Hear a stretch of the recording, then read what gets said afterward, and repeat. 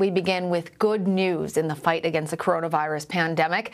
The FDA has authorized a second COVID 19 vaccine for emergency use. Moderna's vaccine has now been authorized for people over the age of 18. Six million initial doses will begin shipping across the country on Sunday. It's now the second coronavirus vaccine approved here in the United States after Pfizer's was authorized last week. Earlier, officials gave an update on Operation Warp Speed and vaccine distribution. Just as we did last week with Pfizer, we are prepared. So what does the playbook look like? Distribution of Moderna vaccine has already begun. Moderna has moved vaccine from their fill finish manufacturing sites to McKesson, who will serve as the central distributor. At McKesson distribution centers, boxes are being packed and loaded today. Trucks will begin rolling out tomorrow from FedEx and UPS delivering vaccines and kits to the American people across the United States. This comes as hospitalizations and deaths hit staggering levels across the country. Our Tom Hanson reports from New York. As Moderna's vaccine rolls out of the labs and launches toward those who need it most, the FDA's Peter Marks underscored the importance of this development in a call with journalists last night. This is another crucial step in the fight against a global pandemic. Two COVID 19 vaccines have now been authorized in an expedited time frame while adhering to the rigorous standards for safety, effectiveness, and manufacturing quality that the American people have come to expect. Keep in mind the massiveness of this undertaking. The United States has launched the biggest vaccine drive in its history. 50,000 received Pfizer's vaccine this week. We will crush this outbreak that has really terrorized us for the last 11 months. The Moderna vaccine has been shown to be 94.1% effective overall for the patients in its trials, dropping to 86.4% for those 65 and older. Like Pfizer, it requires two doses. Dr. Gia Tyson, a Louisiana gastroenterologist and transplant hepatologist, received her first dose Thursday. How are you feeling today? I feel great. A little arm soreness, but that's it. Otherwise, I ran uh, 3.2 miles this morning. But for the vaccine to be effective, there has to be widespread approval by a public willing to get the shots this is really our way out um, and we are in this together and so we have to get out of this together and the vaccine is a crucial um, part of us kind of trying to get life back to normal. the vaccines arrive as 3000 people a day die in the u.s i'm not going to sugarcoat this. We are getting crushed in California, there have been 150,000 new cases in just the last three days. Southern California hospitals are out of regular ICU beds. In the north, a preventive emergency alert went out Friday, telling 7 million people in the San Francisco area to stay home. One shocking projection 68,000 deaths could take place in California and more than 560,000 nationwide by April 1st. As promising as these new vaccines are, people and their behaviors are still the most hopeful way of stopping the spread. You've been on the front lines for an exhausting nine months. How significant is it that we now have two vaccines that have cleared FDA hurdles? It's wonderful. Um, I'm not sure how much really the general population understands the significance, you know, of this. And with the end of 2020 approaching, Americans are being urged to stay home and only socialize in smaller groups. The surge that we're seeing now, with more than 3,000 Americans dead each day, is in part linked to Thanksgiving when millions of Americans traveled. Lana. Thank you, Tom. For more on this now, I want to bring in Dr. Bruce Y. Lee. He's a professor of health policy and management at the City University of New York. He's also the executive director of public health, computational, and operations research there as well. Dr. Lee, thank you for joining us. With two vaccines now available, how will that impact the number of doses that are given out? And will this change the timeline for when people are actually able to get vaccinated? Well, it certainly helps to have two different manufacturers uh, producing COVID 19 vaccines because you know there's going to be inevitably uh, delays or changes in terms of the production schedules for each of the uh, different vaccines. So now we have two different possibilities that can then help level off some of those different um, production delays and challenges. Uh, also, the vaccines are different in, in terms of their characteristics, their storage characteristics.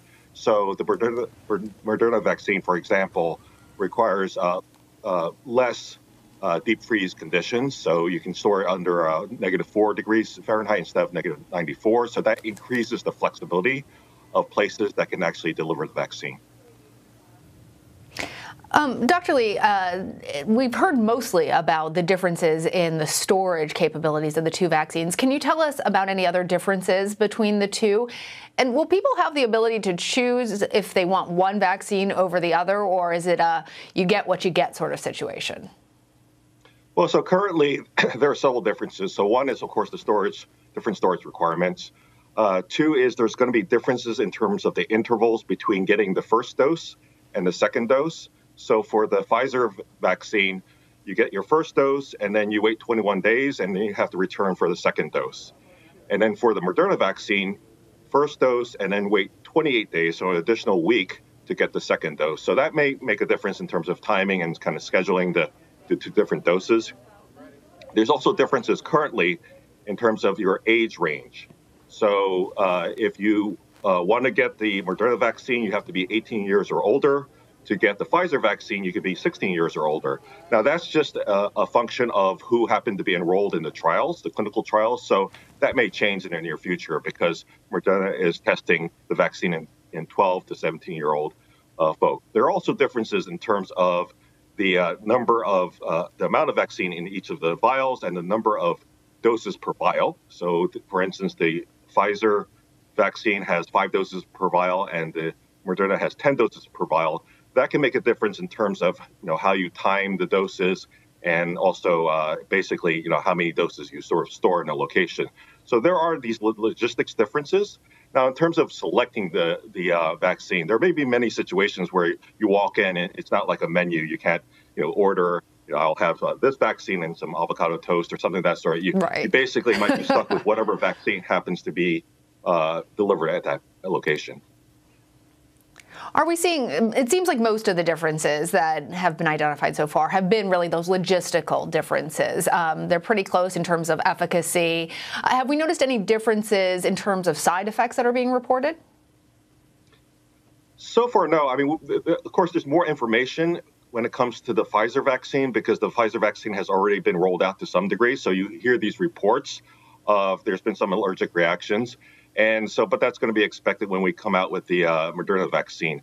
In terms of the clinical trial, there are no real significant differences between the side effects uh, you know, seen with both vaccines. Of course, you know what's going to be really important is to monitor the side effects as things move along. So we have to keep in mind that even though these went through clinical trials, you have to continue to follow what's happening with in the field because many times when you actually roll out something in real life, uh, it you know things can act a little bit differently when they're in the uh, real world or the field. So we have to continue to track those things as well.